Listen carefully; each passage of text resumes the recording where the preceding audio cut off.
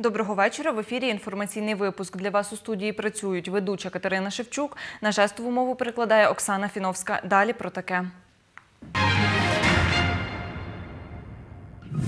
Колишньому начальнику СБУ у Хмельницькій області Віктору Крайтору висунуто обвинувачення по трьох статтях.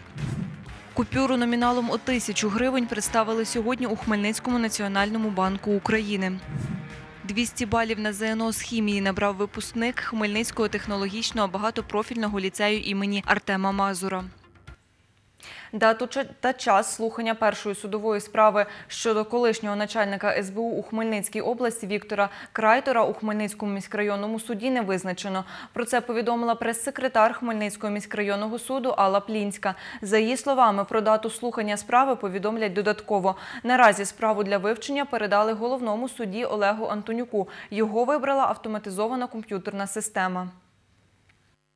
Сьогодні на Хмельницькому міськрайонного суду надійшов обвинувальний акт по відношенню колишнього очільника Служби безпеки України в Хмельницькій області Віктора Крайтера. Віктору Крайтору висунули звинувачення за трьома статтями. Стаття 368 – це перевищення службових повноважень, стаття 112 – це вбивство з необережності та стаття 128 – ненавмисне спричинення тяжких тілесних ушкоджень.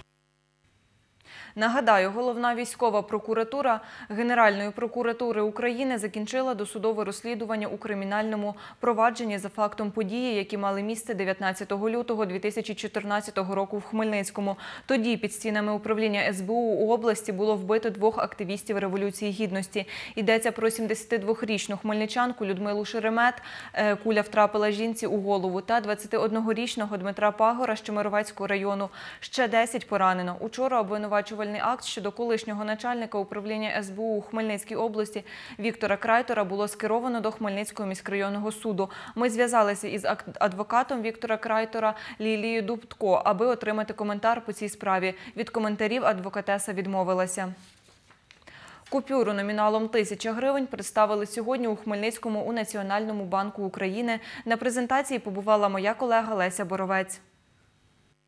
Нова купюра номіналом 1000 гривень з'явиться в обігу 25 жовтня. Про це розповів представник Національного банку України у Хмельницькій області Зіновій Никифорчин. За його словами, купюра має 18 елементів захисту. На ній зображений науковець Володимир Вернацький.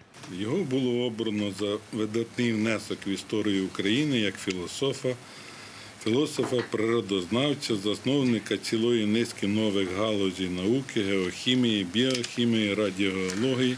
Він також є одним із засновників і першим президентом Української академії наук, створений в 2018 році.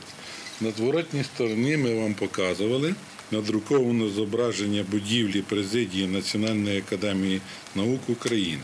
За словами Зіновія Никифорчина, розглядалися декілька кандидатів для зображення на тисячній купюрі. Інших називалися історики Микола Костомаров, письменник Олександр Довженко, князь Данило Галицький, е, гетьмани Петро Коношевич Сагайдачний і Павло Скоропадський. Правління обрало кандидатуру Володимира Івановича Вернацького для зображення на банкноті 1000 гривень. Над розробкою і створенням банкноти працювали художники Нацбанку України, поєднуючи провідні технології дизайну та системи захисту. За словами начальника відділу готівкового обігу Нацбанку України у Хмельницькій області Нелі Білик, ця банкнота продовжує оновлення номінального ряду банкнот гривні, розпочатого 4 роки тому. За дизайном банкнота нового номіналу наслідує банкноти нового покоління гривні. Е, За розміром і кольором вона помітно відрізняється від банкнот інших номіналів, що допоможе населенню легко визначити її номінал та виключає можливість перероблення банкнот малих номіналів е, на великі шляхом додавання нулів. Неля Білик додає, склад паперу містить 80% бавовни, яку імпортують з Узбекистану, та 20% українського льону. Леся Боровець, Віктор Кривий. Причина підтоплення житлових будинків та підвалів – неналежний стан дренажних систем та водовідвідних каналів у населених пунктах Хмельниччини та несвоєчасне залучення до ліквідації наслідків негоди комунальних служб. Про це каже начальник управління з питань цивільного захисту населення Хмельницької ОДА Юрій Корева. За його словами, у житлово-комунальній сфері області створено 123 аварійні бригади, куди входить 632 особи та 294 одиниці техніки. Разом з тим, в ході ліквідації наслідків негоди було залучено від комунальних служб лише 40 чоловік особового складу та 12 одиниць техніки. Це в містах Хмельницький, Кам'янець-Подільський, Шепетівка, місто Старокостянтинів та Городоцькому районі. Врешті міст і районів, особливо на початковому етапі реагування, це перший, перший день-два, сили комунальних служб практично не залучалися. Однією з причин своєчасного, несвоєчасного залучення комунальних служб є відсутність більшості міст і районів області диспетчерських служб, до яких повинна надходити відповідна інформація, відсутність цілодобового чергування аварійних бригад Аналогічна ситуація з мобільними оперативними групами реагування в області. У їх складі 895 осіб та 459 одиниць техніки. При ліквідації негоди ці мобільні групи не залучалися, каже Юрій Корева. Додає, не найкраща ситуація з резервними фондами місцевих бюджетів. У деяких районах вони у сотні разів менше від нормативних, а у деяких тергромадах досі не створені. Крім міста Нітішина, жодній райдержадміністрації в місті обласного значення та об'єднаній територіальній громаді розмір резервного фонду не відповідає 1% від бюджету. Якщо взяти в загальному накопичення місцевих матеріальних резервів, в райдержадміністрації в містах обласного значення становить 79,4%, по об'єднаних територіальних громадах це лише 26,7% від затверджених номенклатур, затверджених головами об'єднаних територіальних громад. Аби уникнути ситуації з підтопленнями, Юрій Корева пропонує усунути ряд недоліків. Забезпечити завершення заходів по ліквідації підтоплень, відновленні водопропускних споруд та організації належного життєзабезпечення населення. Забезпечити належну організацію місцевих комісій ТЕП та НС та чергування як в райдержадміністраціях та об'єднаних територіальних громад. На чергових сесіях місцевих рад розглянути питання і привести резервні фонди місцевих бюджетів у відповідність до нормативного 1% від бюджету. Нагадаю, за травень випала трьохмісячна норма дощу, а в окремих місцях за годину півтора місячна норма опадів. Останні підтоплення відбулися на Хмельниччині минулими вихідними після зливи, яка тривала кілька годин. –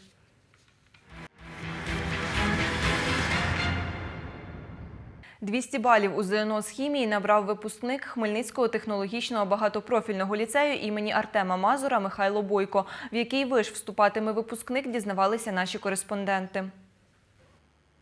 У Хмельницькому технологічному багатопрофільному ліцеї імені Артема Мазура Михайло Бойко став шостим випускником, який набрав 200 балів у ЗНО, розповідає директор Олена Кенц. З хімії двоє, двоє з української мови та літератури, один з математики і одна з англійської мови. Олена Кенц каже, Михайло Бойко захопився хімією ще з 7 класу.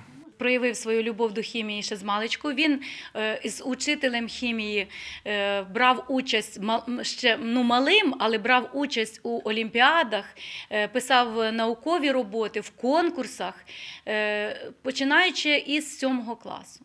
Михайло Бойко говорить, секрет успішної здачі ЗНО прихований у щоденній праці. З 10 класу почав готуватись.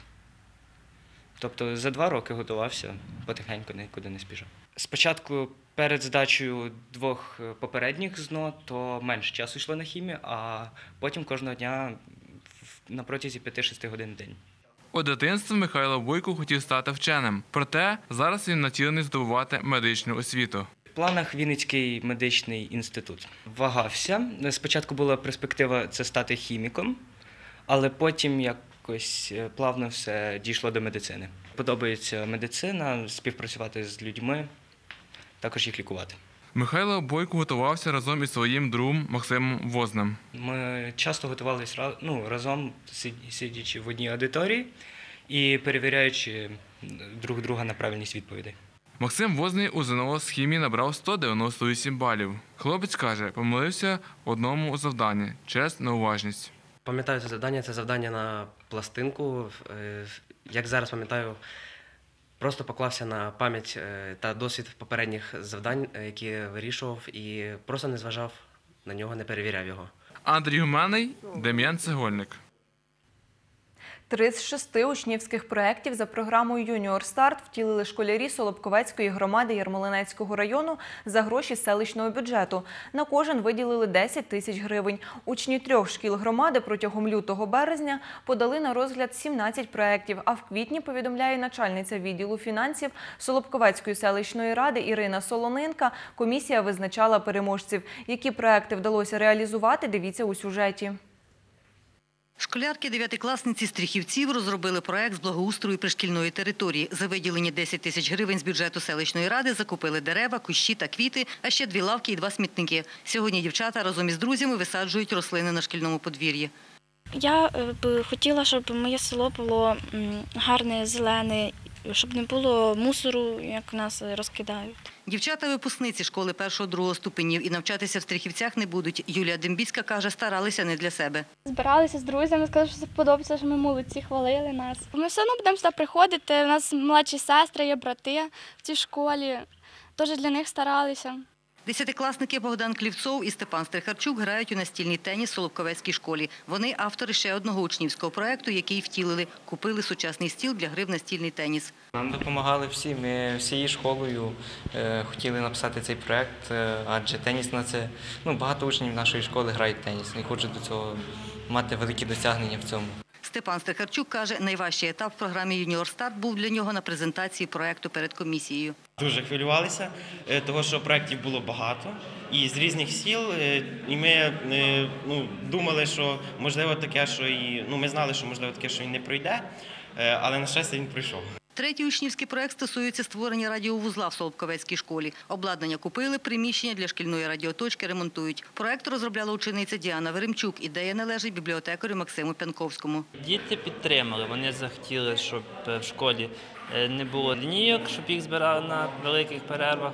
Із нового навчального року з радіовузла лунатимуть шкільні новини, музика, вітання з іменинами. Ведучими і кореспондентами будуть учні школи. Начальниця відділу фінансів Солобковецької селищної ради Ірина Солоненка каже, школярі подали на розгляд 17 проєктів, з яких 6 перемогли та отримали по 10 тисяч гривень на їх втілення. Перевага надавалася проектам, які е, спрямовані на поліпшення екологічної ситуації, а також які би сприяли е, фізичній активності е, учнівської молоді. Консультант проекту «Пульс» при Хмельницькому райвідділі Асоціації міст України Анна Сіра каже, керівники громад області впродовж останніх років активно підтримують молодіжні ініціативи. Молоді люди мають нестандартний підхід до вирішення питань і дивляться в майбутнє трошки інакше ніж дорослі. Тому досить активно по області розвиваються програми підтримки молодіжних ініціатив, учнівських проєктів. Наприклад, одна із таких реалізується в Солобковецькій ОТГ. Це програма Юніор Старт. Програму «Юніор Старт» планують продовжувати, каже начальниця відділу фінансів Солобковецької селищної ради Ірина Солоненка. За її словами, в вересні з бюджету ОТГ виділять гроші на ще шість проєктів. Світлана Поробок, Юрій Чорний. Новини.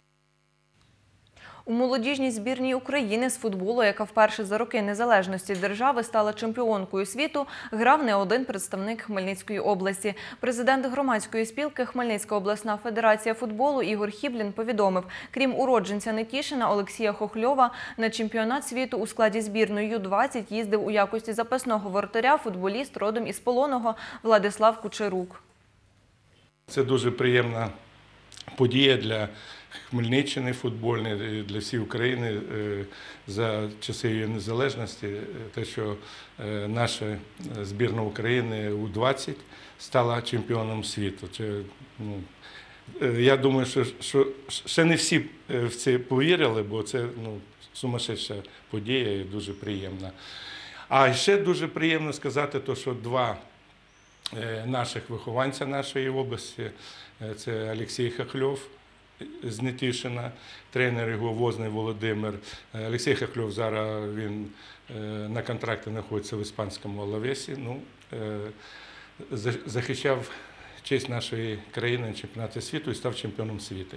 І, і також воротар з Полонного, Ку- Куче- Кучерук Владислав, тренер Іваніцький Олександр, він представник Динамо Києва, от, який також став чемпіоном, чемпіоном світу. За словами Ігора Хібліна, усім гравцям української молодіжної збірної присвоїли звання майстрів спорту міжнародного класу та вручили медалі за заслуги. Перші тренери футболістів, каже президент обласної федерації футболу, мають право на присвоєння звання заслужених тренерів України. Це Нетішинський тренер е, Володимир Возний та Полонський Олександр Івацьківський.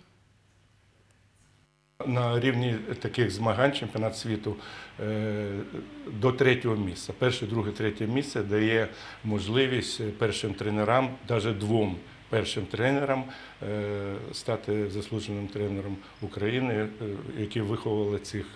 Ну, вже на цьому, на цьому етапі вони легендарні, наші футболісти. От, вони прославили Хмельниччину і Україну. Це честь для тренера, який працює з дітьми. Нагадаю, молодіжна збірна з футболу за роки незалежності України вперше стала чемпіонкою світу. Востаннє українські футболісти вигравали такі змагання у складі молодіжної збірної СРСР у 1977 році. Це була остання інформація цього випуску. Дивіться більше у підсумковому випуску новин, а також на нашому офіційному сайті та сторінці у Фейсбук. Побачимось.